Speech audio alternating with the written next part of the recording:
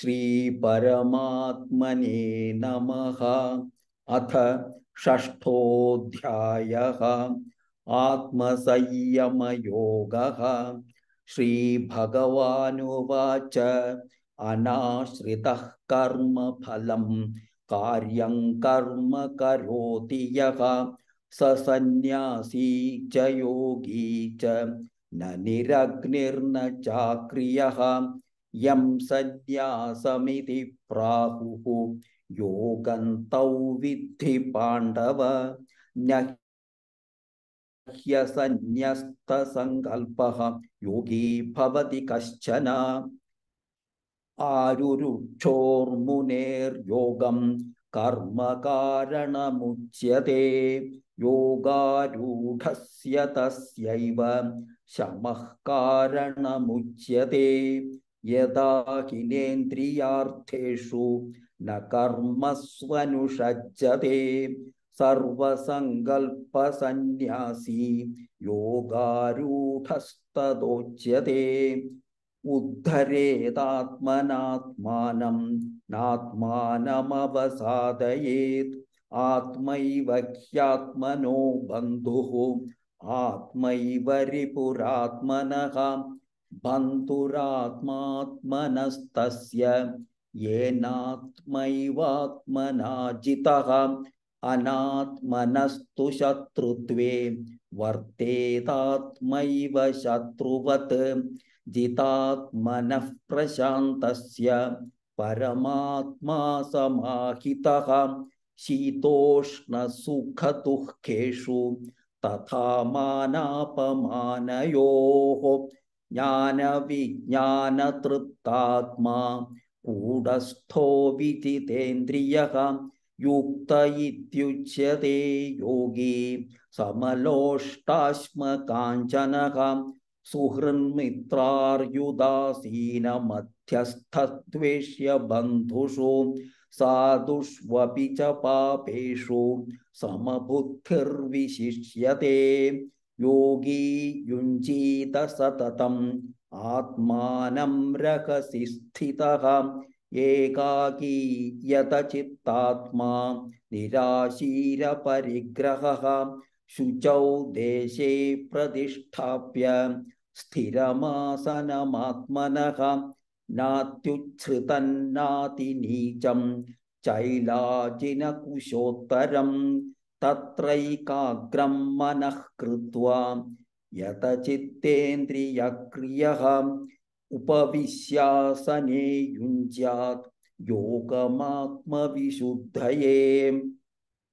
समङ्काय शिरोग्रीवं धारयन्नचलं स्थिरः सम्प्रेक्ष्य नासिकाग्रं स्वं दिशश्चानवलोकयन्। प्रशान्तात्मा विगतभिः ब्रह्मचारिव्रते स्थितः मनः संयम्यमच्चित्तः युक्त आसीत मत्परः युञ्जन्नेवं सदात्मानं योगी नियतमानसः शान्तिर्निर्वाणपरमां मत्संस्थामधिगच्छति नात्यस्नतस्तु योगोऽस्ति। न चैकान्तमनश्नतः, न चातिस्वप्नशीलस्य जाग्रतो नैव चार्जुन, युक्ताहारविहारस्य। युक्तचेष्टस्य कर्मसु, युक्तस्वप्नावबोधस्य। योगो भवति दुःखः। यदा विनियतञ्चित्तम् आत्मन्येवावतिष्ठते निःस्पृहः सर्वकामेभ्यः युक्त इत्युच्यते तदा। यथा दीपो निवातस्थः नेङ्गते सोपमा स्मृता योगिनो यतचित्तस्य युञ्जतो योगमात्मनः यत्रो परमते चित्तं निरुद्धयोगसेवया यत्र चैवात्मनात्मानं पश्यन्नात्मनि तुष्यति सुखमात्यन्तिकैयत्तद्बुद्धिग्राह्यमतीन्द्रियं वेत्ति यत्र न चैवायं स्थितश्चलति तत्त्वतः यल्लब्ध्वा चापरल्लाभं मन्यते नाथिकन्ततः यस्मिन् स्थितो न दुःखेन गुरुणापि विचाल्यते। तौ विद्या दुःखसंयोगवियोगयोगसञ्ज्ञितं स निश्चयेन योक्तव्यः योगो निर्विण्णचेतसा।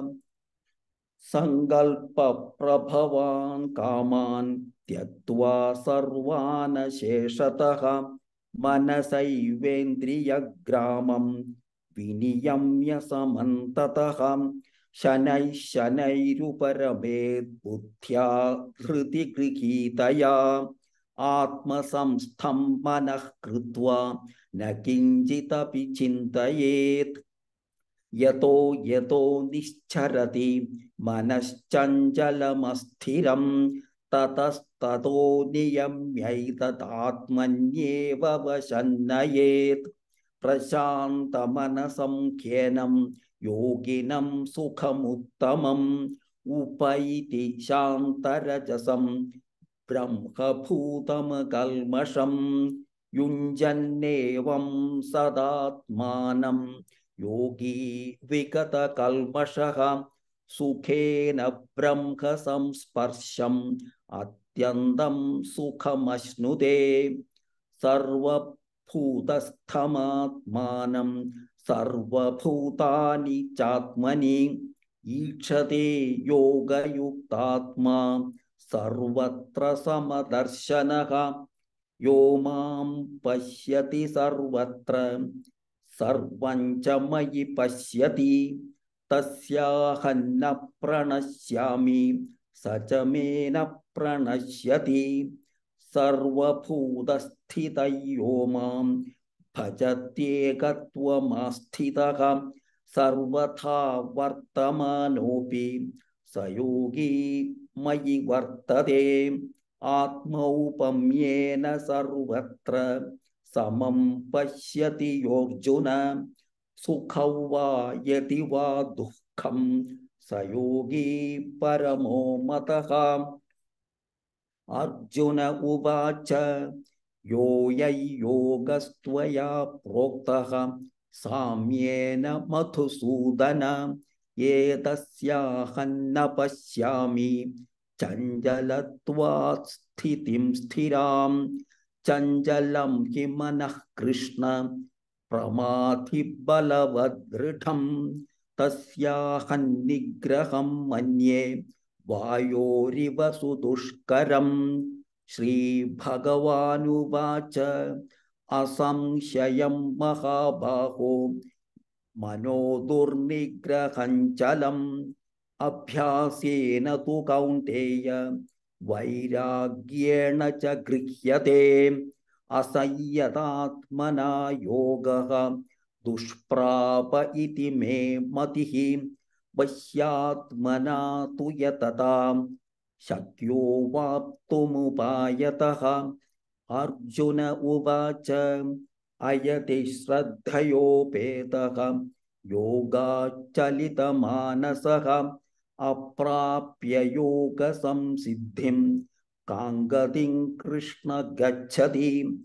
कच्चिन्नो भयविभ्रष्टः छिन्नाभ्रमिव नश्यति। अप्रतिष्ठो महाबाहो। विमूढो ब्रह्मणः पथि। एतन्मे संशयं कृष्ण।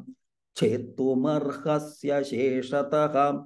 त्वदन्यः संशयस्यस्य छेत्ता न ह्युपपद्यते पार्थनैवेह नामुत्र विनाशस्तस्य विद्यते। न हि कल्याणकृत् कश्चित् दुर्गतिं तात गच्छति। प्राप्य उषित्वा शाश्वती समाः शुचीनां श्रीमताङ्गेः योगभ्रष्टोऽभिजायते। अथवा योगिनामेव कुले भवति धीमताम्। एतद्धि दुर्लभतरं लोके जन्म यदीदृशं तत्र तं बुद्धिसंयोगं लभते पौर्वदेहिकं यतते च ततो भूयः।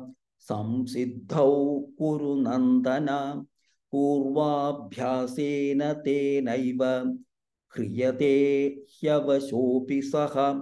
जिज्ञासुरपि योगस्य शब्दब्रह्माति वर्तते प्रयत्नाद्यतमानस्तु योगी संशुद्धकिल्बिषः अनेकजन्मसंसिद्धः ततो याति पराङ्गतिं तपस्विभ्योऽधिको योगी ज्ञानिभ्योऽपि मतोऽधिकः कर्मिभ्यश्चाधिको योगी तस्माद्योगी भवार्जुन योगिनामपि सर्वेषां मद्गदेनान्तरात्मना श्रद्धावान् भजते यो माँ समे युक्ततमो मतः। ॐ तत्सदिति श्रीमद्भगवद्गीतासु उपनिषत्सु ब्रह्मविद्याया योगशास्त्रे श्रीकृष्णार्जुनसंवादे आत्मसंयमयोगो नाम षष्ठोऽध्यायः। सर्वधर्मान् परित्यज्य मामेकं शरणौ व्रज अहं त्वा सर्वपापेभ्यः मोक्षयिष्यामि मा शुचः। कृष्ण।